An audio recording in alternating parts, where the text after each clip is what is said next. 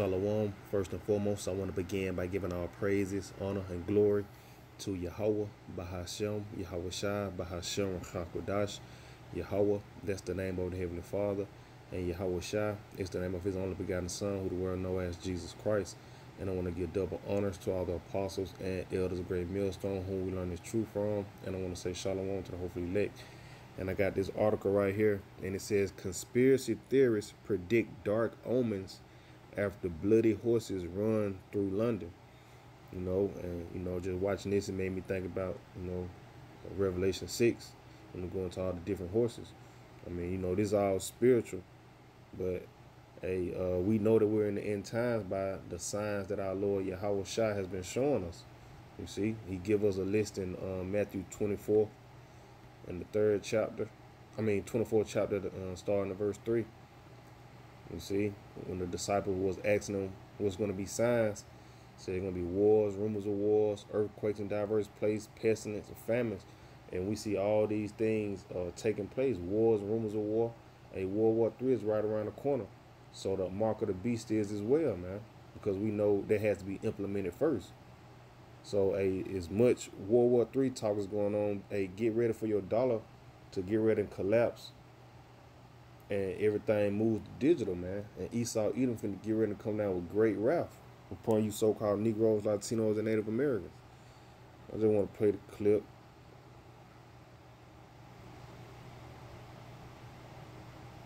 You see?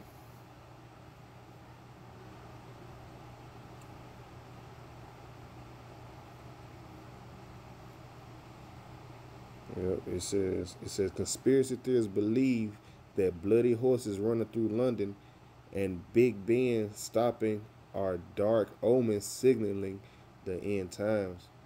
And we see that we're in the end, man.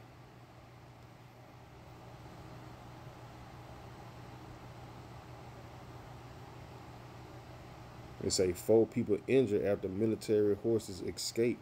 Hey, people even got hurt during this, man. See?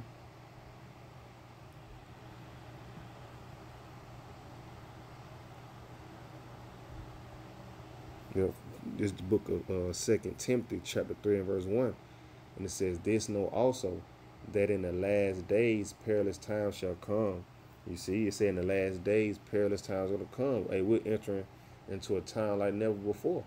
It's going to be the time of Jacob's trouble, man. Well, a, a famine is going to kill a lot of you people. World War Three is going to take place, and ultimately those missiles, nuclear missiles, are going to be shot off toward America to wipe it off the face of the earth, man. And once again, it says, This know also that in the last day perilous times shall come. It's going to be so bad that we're going to need Michael the Archangel stand up for us. It says, The time of the end. Daniel 12 and 1. And it says, And at that time shall Michael stand up, the great prince which standeth for the children of thy people and there shall be a time of trouble such as never was since there was a nation, even to that same time. You see, it says it's going to be a time such as never was. So, a Jacob's trouble is going to surpass slavery, man. When, like they show on Roots, niggas on plantations getting whipped, Jacob's trouble is going to surpass that because that was one of the most uh, brutal times for the nation of Israel, man. It's going to surpass the Trail of Tears how Esau Edom came over here and killed off damn near the whole northern tribe. It's gonna surpass that, man. The Lord to the point the Lord is gonna have apparitions out here. Newly created creatures, people starving to death, eating their children, killing one another for the lack of bread.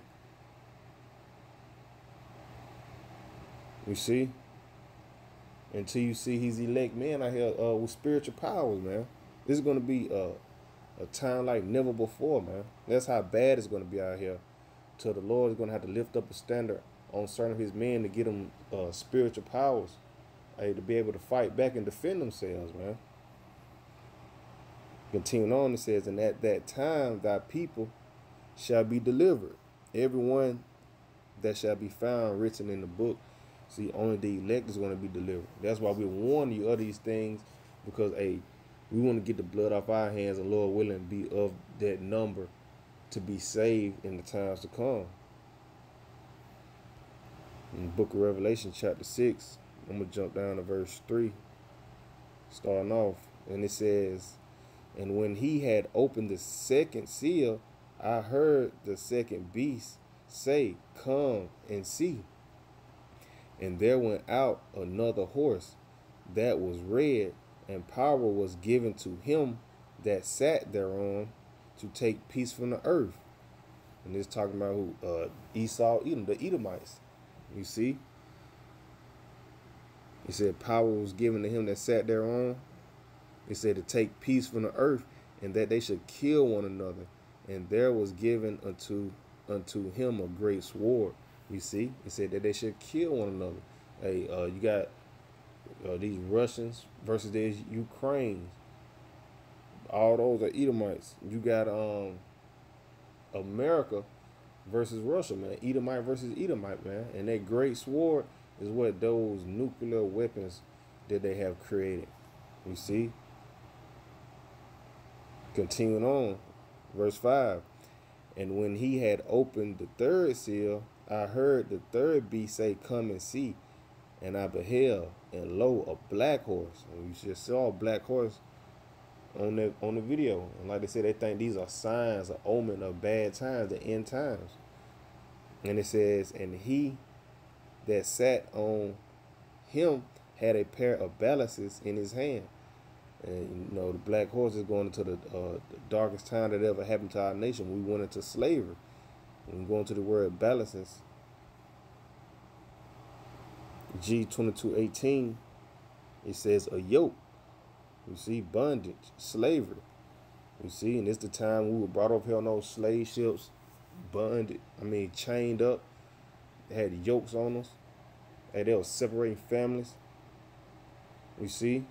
Hey, we get ready to come into another dark time, man. The time of Jacob's trouble. Like I said, a time like never before. You see? Verse 6, and it says, And I heard a voice in the midst of the four beasts say, A measure of wheat for a penny, and three measures of barley for a penny. And see thou hurt not the oil and the wine.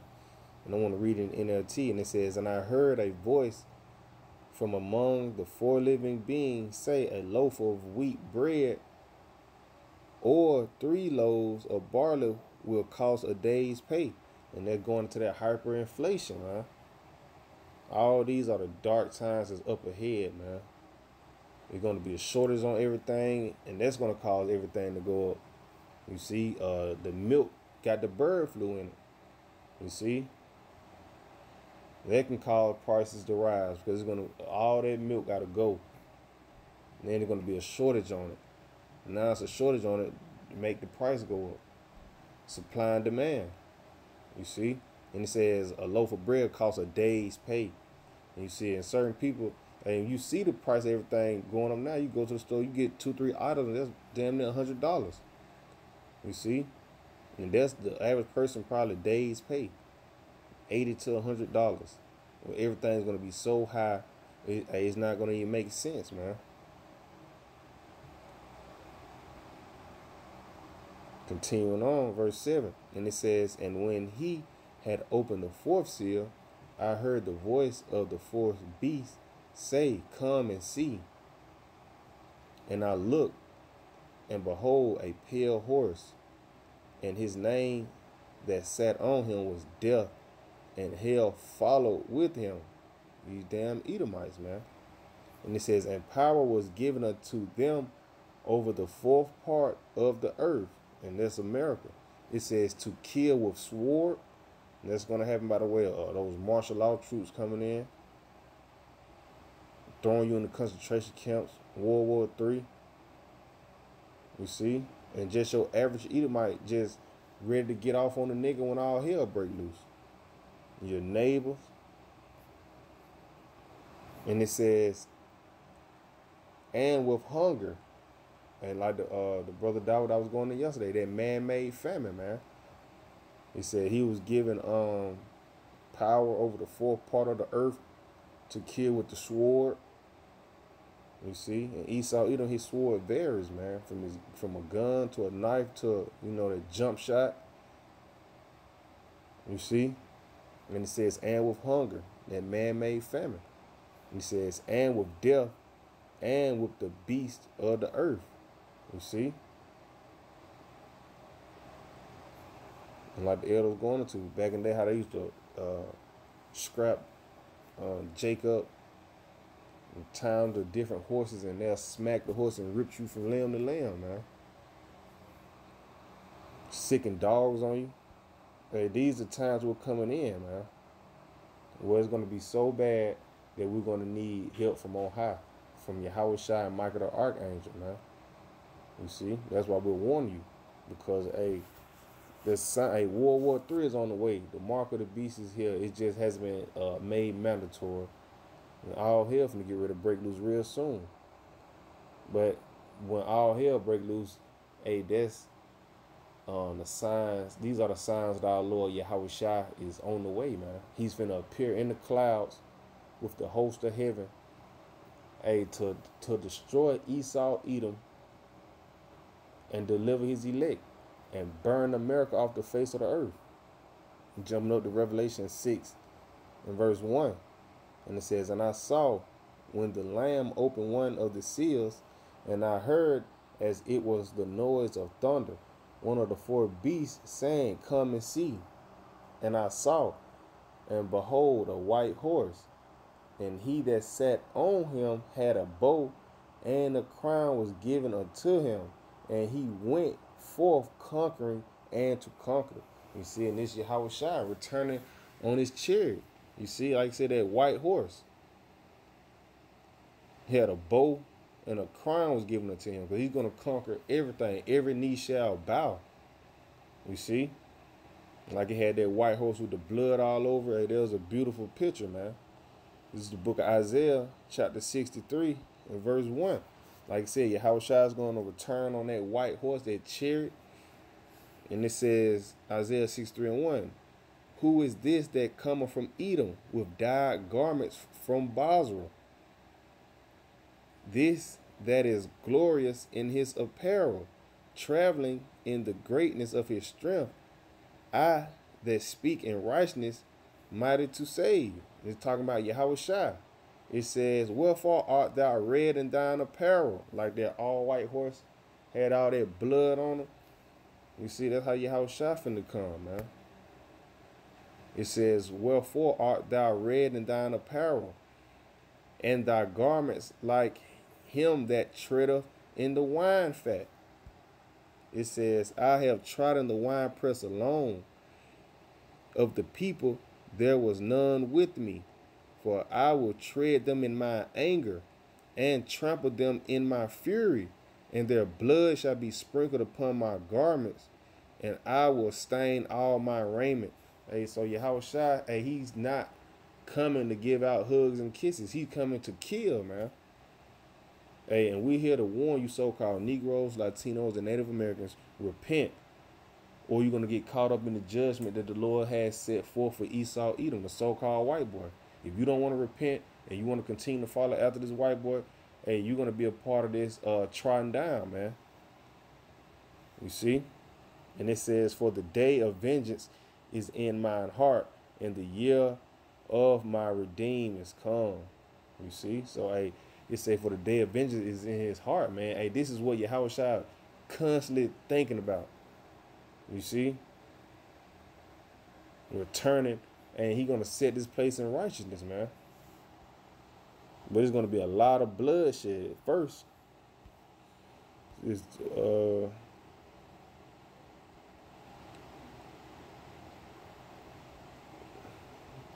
Book of Revelations, chapter 14.